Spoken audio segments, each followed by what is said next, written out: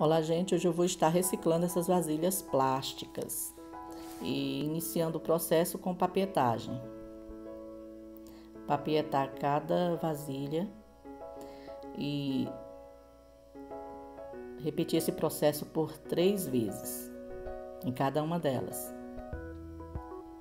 Não precisa esperar totalmente secar uma aplicação para colocar para pôr outra aplicação.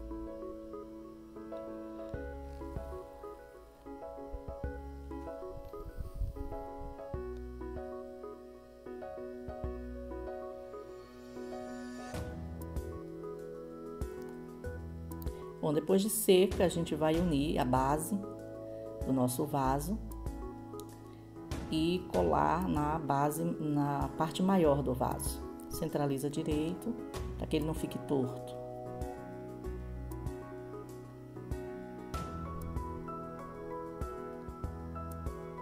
Aí vai papetar para tirar essas imperfeições, passar de novo todo um processo na peça de papel, papietando. E a gente vai aplicar o gesso. Eu fiz um gesso bem mole, e aí você vai aplicando na peça, vai fazer isso por três vezes. A última aplicação do gesso é um pouco mais grosso, então você vai fazer isso por fora e também por dentro da peça, no fundo também. Aí um pouco mais grosso, vai fazer isso em toda a peça, para que ela fique também é, dê mais peso para o vaso. Terminado isso, agora a gente vai para lixar. Aí depois disso, eu não gostei muito do, do gesso. Eu fiz outra com massa corrida e gostei bem mais porque fica mais lisinha e achei mais bem mais trabalhado. Aí eu vou terminar com essa peça com gesso mesmo, fazendo a papietagem.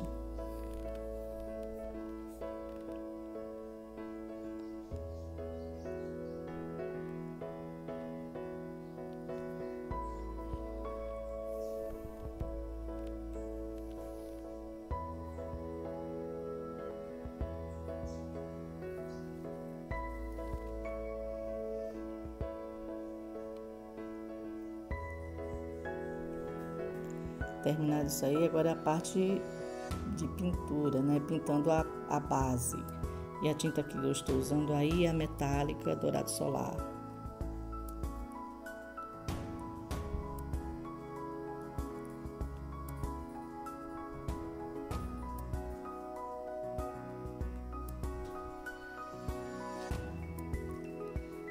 É, agora eu também pintei a borda e por dentro do, do vaso eu pintei com amarelo ocre.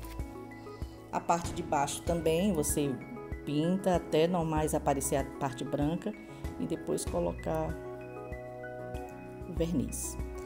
Bom, agora eu vou também é, para o outro vaso, né? Vou decorar o outro vaso que eu fiz com massa corrida e ele realmente é bem mais fácil, então é melhor fazer com massa corrida em vez de gesso.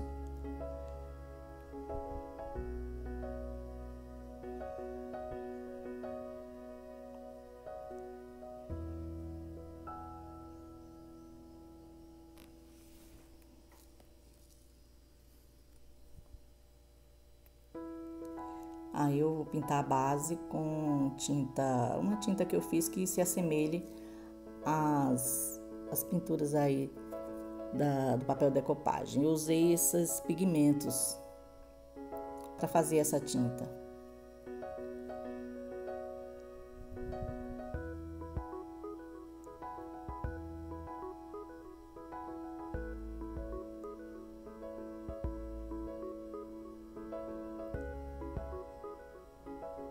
Também pinta por dentro.